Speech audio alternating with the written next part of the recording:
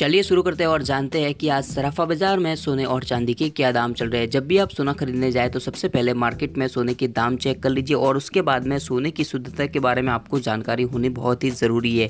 कई बार हम ज़्यादा पैसे चुकाने के बावजूद भी सोने के शुद्धता के मामले में ठगे जा सकते हैं। जब भी आप सोना खरीदने चाहें तो नाइन वन सिक्स हॉलमार्किंग जो अंतर्राष्ट्रीय स्तर पर शुद्धता का पैमाना माना जाता है, उसे चेक करके ही खरीदें। यदि सोने के गहनों पर नाइन वन सिक्स की हॉलमार्किंग मिलती है तो इसका मतलब यह होता है कि वह सोना जो है 91.6 प्रतिशत खरा सोना है और वह 22 कैरेट का गोल्ड है। वहीं दोस्तों बात करें 22 कैरेट गोल्ड की तो 22 कैरेट गोल्ड में प्रति एक ग्राम के अनुसार दो हज़ार नौ सौ निन्यानवे रुपये आठ ग्राम के अनुसार तेईस हज़ार नौ सौ बानवे रुपये दस ग्राम के अनुसार उनतीस हज़ार नौ सौ नब्बे रुपये वहीं बात करें सौ ग्राम की तो दो लाख निन्यानवे हज़ार नौ सौ रुपये मार्केट में बाईस कैरेट गोल्ड की प्राइस चल रही है।